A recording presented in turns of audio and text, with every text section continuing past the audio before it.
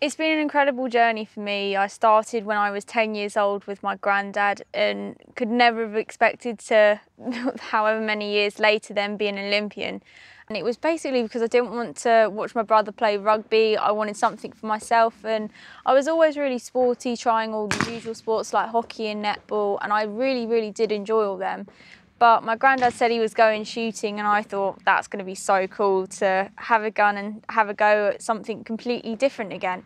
So I went along and I actually took to it quite naturally. I, I was hitting them and it just gave me a massive adrenaline rush just thinking like I've hit my first clay, I want to come back and do this again. So that's exactly what I did. Next week I came back with my granddad and sort of carried on like that it's just been a fantastic journey for me from my first World Cup at Acapulco when I won gold to then being named BBC Young Sports Personality of the Year and then to be an Olympian at the Rio 2016 Olympics. It was just incredible and I think that's the highlight of my journey so far.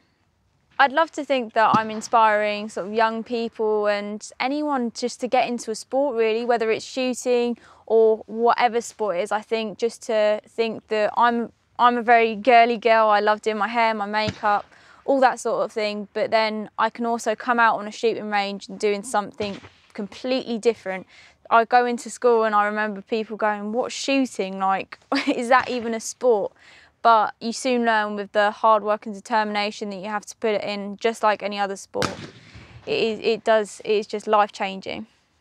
I think there's a lot more opportunities for young people to become involved in shooting. I've definitely noticed the increase of young people and girls within the Olympic disciplines anyway. So I'm sure that hopefully by doing these little things like with Eley coming up with the pink cartridges, with the jamborees, British Shooting have opened their new talent pathway. I think there's so many opportunities now to hope hopefully develop the next generation and give them some structure to sort of know where their goals should be and hopefully achieve them as well.